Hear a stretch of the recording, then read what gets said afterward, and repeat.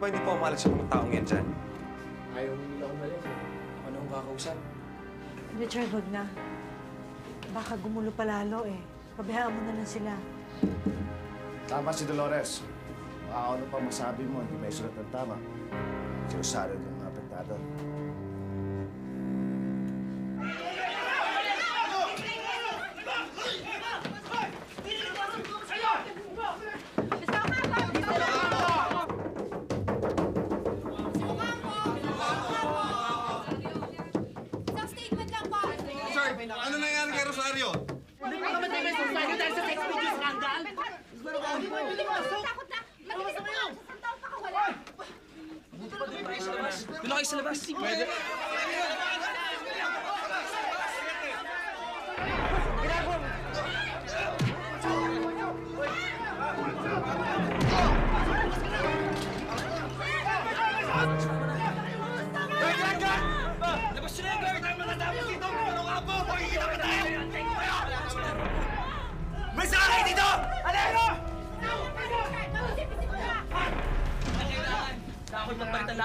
Lahat para kay Rosario.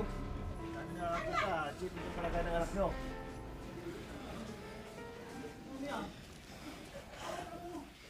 Madyo, mabuti pa siguro. Umuwi ka na muna. Magpahinga ka na muna. Sige na. Hindi, hindi. Okay lang. Hindi. Tapos ako naman bukas ang uuwi.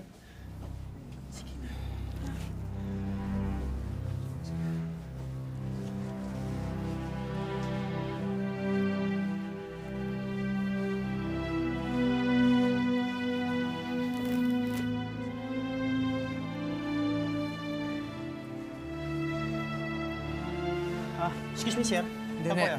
Kaibigan ako ni Rosario Campo.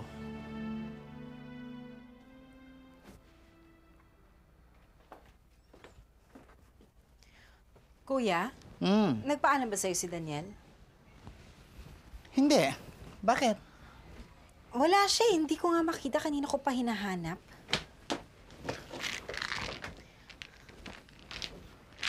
Ano sabi ng mga katulong mo? Naman daw. Hindi naman daw nagsabi na aalis. Wala, bigla na... Hindi naman umaalis siya na hindi nagpapaalam.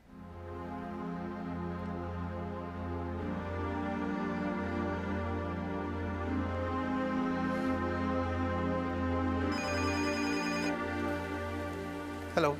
Ah, hello. Pwede kay Rosemary? Sino to? Si Joshua. Joshua. Si Angelo to, bakit? Um, importante lang. Ibabalita ko lang sana sa kanya na nagpakamatay si Rosario. Nasa St. John's Hospital siya ngayon. Sige, sasabihin ko na lang. Um, ako na lang magsasabi, pwede ba siya makausap? Wala siya. Umalis. Huwag ka mag-alala. Makakarating sa kanya. Sige, salamat. Angelo, sino yung kausap mo? Ah, wala. Wrong, wrong number.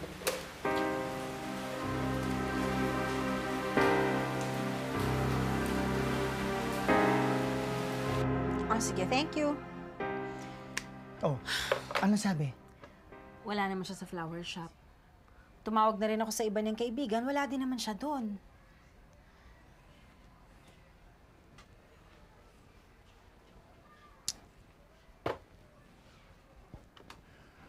Wala ba siyang tirahan ng mga kamag-anak niya dito sa Maynila? Wala. Lahat kasi sila nasa probinsya eh. Yun ang sabi niya sa'yo.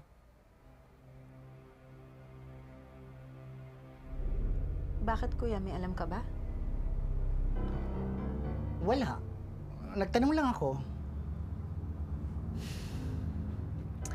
Nasa na kaya yun? Nag-aalala na tuloy ako. Baka mamaya kung ano na nangyari. Margarita, sino si Joshua? Ah, Best friend niya yun. Bakit? Eh, hindi ba siya yung huling kausap ni Daniel sa telepono kanina?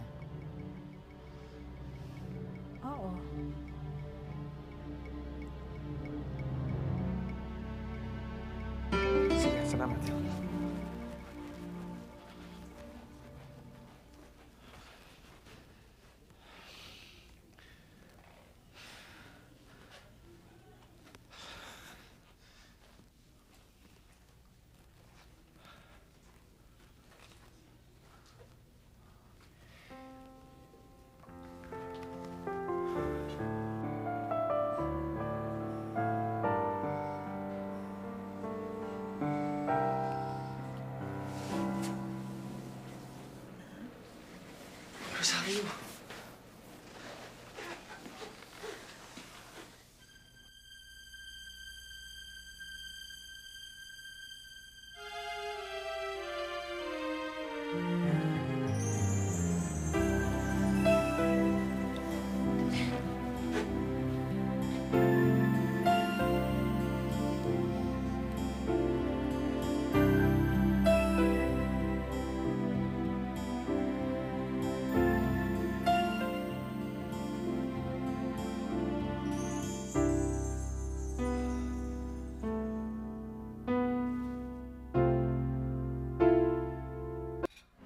Bakit ako? Ako ba nagbigay ng bote ng gamot para laklakin niya? Ikaw ang dahilan kaya niya ginawa yun. Nilay naman. Usapang pamilya to. Labas ka dito, hindi ka dapat nakikialam. Grabe ka, Rosenda. Para kang manhid kong magsalita, ah. Oo nga, grabe nga. Unti-unti mo na rin ako makikilala, Lilay. Ayaw mo nun? Alam na ba to ng asawa mo? Alin doon? Yung mga ginawa ko o yung pagpapakamatay ni Rosario? Pareho. Siyempre, hindi. At huwag ka magkakamaling magsumbong sa kanya.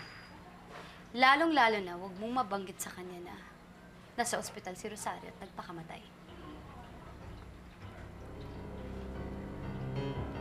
Lilay, bago lang tayo magkaibigan. Ayokong masira agad yun.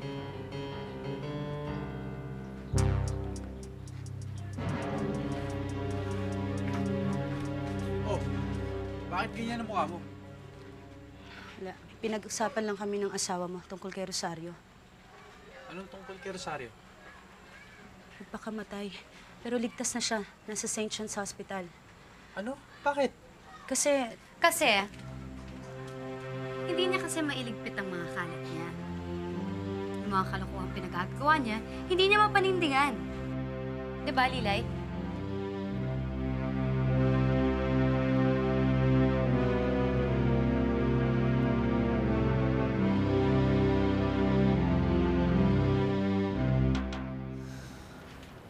Ma'am, nandito na po si Sir. Saan ka naman nagpunta? Ah, sa mall. Tumingin ng mga mabibiling kakailanganin para bukas. Eh bakit hindi ka man lamang nagpaalam? A- akala ko ba alam niyo? Hindi ba, Marley, kapag ka nagsabi sa akin na bubili ng sabon, ng toothpaste para bukas? Kuya naman, ikaw pala nagsabi eh. Nakalimutan ko.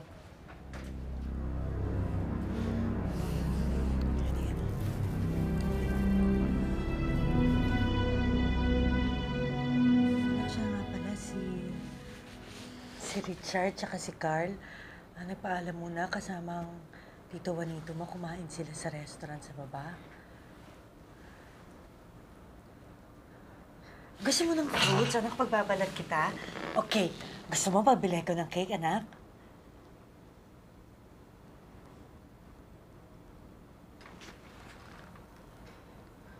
Alam ko na.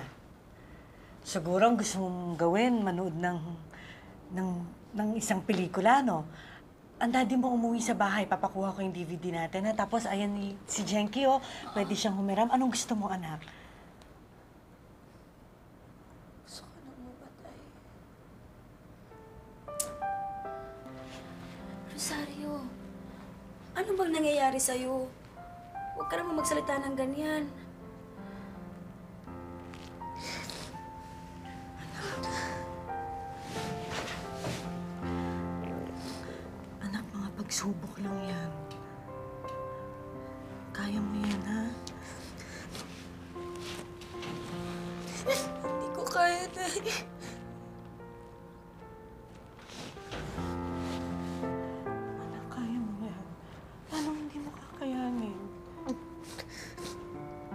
paano ko kakayanin? Iba na ang pagtingin ng lahat ng tao sa akin. Wala namang gustong maniwala sa akin eh. Ako. Ako anak, naniniwala ako sa'yo.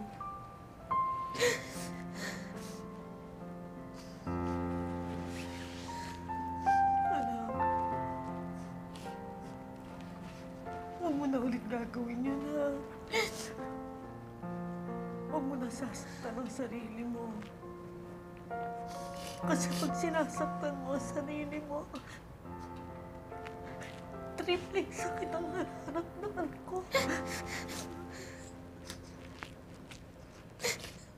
Nay, sorry po.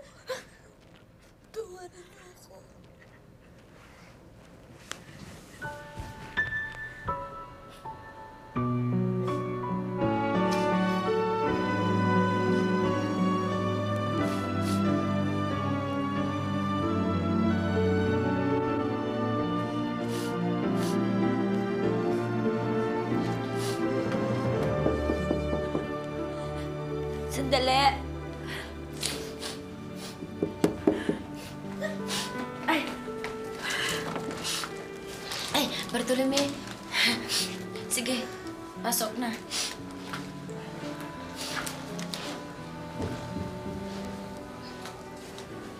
Magandang gabi ho.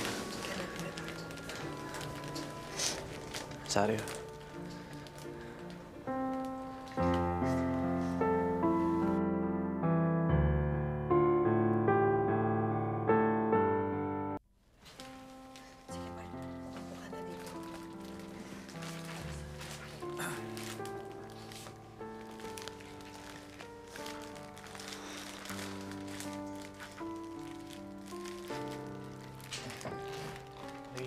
dito ah.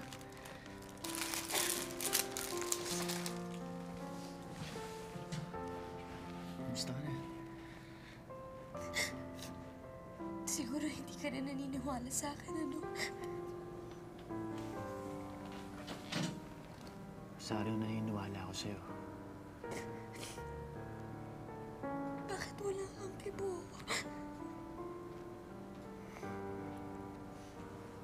Wala kasi akong magawa eh.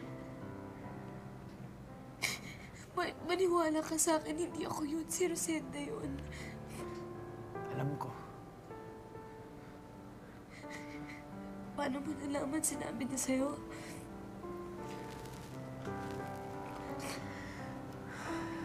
Kilala kita, Rosario. Wala pagkabata natin. Alam ko hindi mo magagawa yun eh. Pero huwag kang mag-alala. Pinapangako ko sa'yo. Lilinisin natin ang pangalan mo. Akong gagawa ng paraan. Paano? Huhulihin ko si Rosenda. Papalabasin natin ang katotohanan. Ginawa na ho namin ang pinagagawa niyo. Mabuti. Lalabas ba lahat bukas sa periodiko? Sigurado, marami nakakita. May nakakuha pa ng mga pictures. Walang paltos to, Mr. Rivera. Good. Kakausapin ko lahat ng kaibigan mo reporters. Pasusulat ko, nagtatanong lang ako, sinugod ako ni Mr. Ocampo. Sinuntok, panalo tayo dito, Mr. Rivera. Paglabas ng report na yan sa TV o sa dyaryo, pwede mo nang kunin dito ang cheque mo. Hindi pa tayo matatapos dyan, sir. Susunod-sunodin ko yung rosaryo niyan sa susunod na linggo. Babantayan, hahanapan ng butas. Bawat kibot, sulat. Hindi pa tayo titigil dyan hanggat di bumabaksak yung mag-amang yan. Pagapang, parang ahas, papalik sa inyo.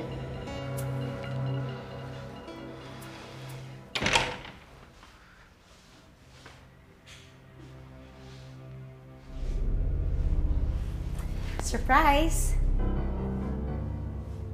Oh. Bakit naman parang nakakita ka ng multo?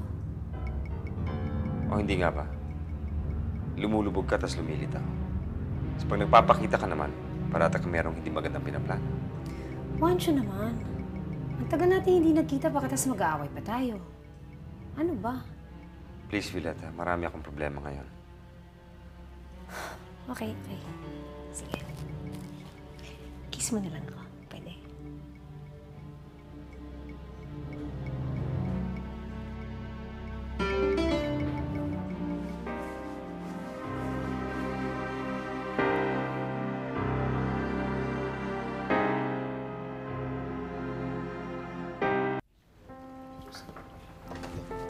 Joshua, Ah, good morning po. good morning. Sit down. Eh, Mang Marlo, ba't niyo po ako pinatawag? Hindi ba ikaw ang best friend ng asawa ng kapatid ko? Si Daniel, oo. Mm-mm. Eh, asan mo ba siya? Akala ko gusto niya ako makausap. Si Daniel wala. Kasama na siya ni Margarita nagpunta ng Hong Kong. Actually, Joshua, ako ang may kailangan sa'yo.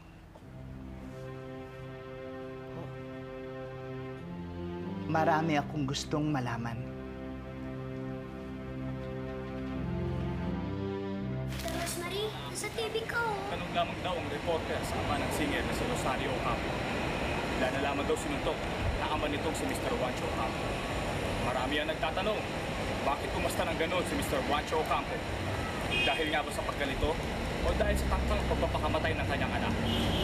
O dahil sa may sikreto silang tinatago? Sa totoo, ang lahat na lumabas Angelo!